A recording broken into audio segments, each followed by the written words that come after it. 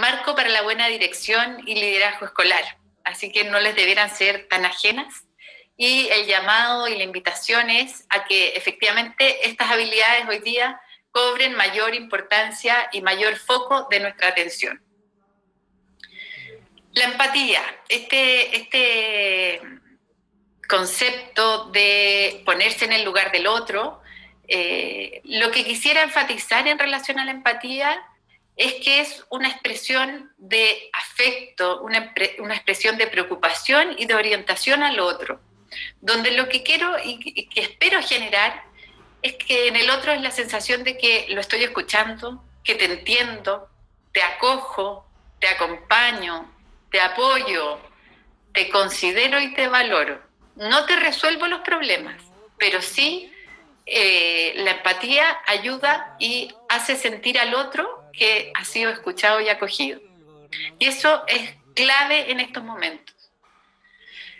Vamos a ver algunas prácticas que estas primeras son más recomendables en el, en, el vínculo individual, en el uno a uno, y después prácticas que son más para lo grupal, aunque ambas pueden, eh, no, es no es tan rígida la diferenciación. Primero mantener el contacto, y como les decía, ojalá verse.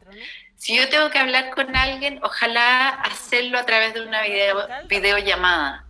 Poder vernos las caras, no solo por un afán de, por un gusto personal, es que nuestra comunicación no verbal es muy importante. Cuando yo estoy hablando por teléfono, los silencios son muy distintos que en una, vida, en una videollamada los silencios. Porque yo veo que el otro está pensando. En, un, en un llamado por teléfono no lo veo y por ende no sé en qué está hacer, ojalá, llamadas uno a uno a todo el equipo del colegio, a todo el personal que trabaja en el colegio. Ahí pueden apoyarse en, eh, tanto con el equipo directivo, ¿no es cierto?, para distribuirse roles con los inspectores, distribuirse a quién llama cada uno, pero hacer llamadas, ¿ah? no solo correos, no solo reuniones grupales, llamar uno a uno. Siempre partir preguntando cómo está y dedicar tiempo a la respuesta que no sea una cosa formal, sino que sea efectivamente, quiero saber cómo has estado, porque el cómo has estado hoy día puede ser muy distinto a cómo estabas ayer. Ayer estabas entusiasmada, motivada, eh, con energía, y hoy día estás súper frustrada porque lo que querías hacer no te resultó. Y entonces, no dar por sentado cómo está el otro. No porque hablamos ayer, yo sé cómo está hoy día. Escuchar sin interrumpir ni interpretar. Yo puedo suponer que alguien no está bien, pero no lo sé.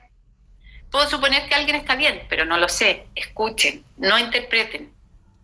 Cuando estamos eh, enfocados en la empatía, lo importante es el otro y hacerle preguntas para entender cuál es su situación y cuál es su vivencia. No darle consejos, no interrumpir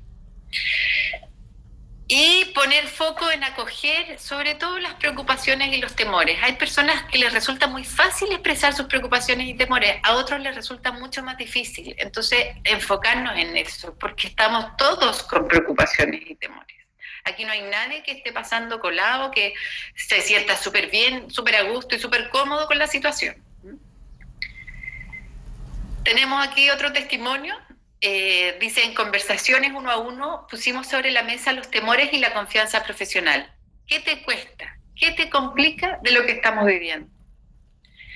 Evidentemente, yo les decía, la empatía no implica resolver el problema, pero por lo menos sé qué terreno estamos pisando. Y si lo podemos ayudar a resolver, bienvenido sea. Si no,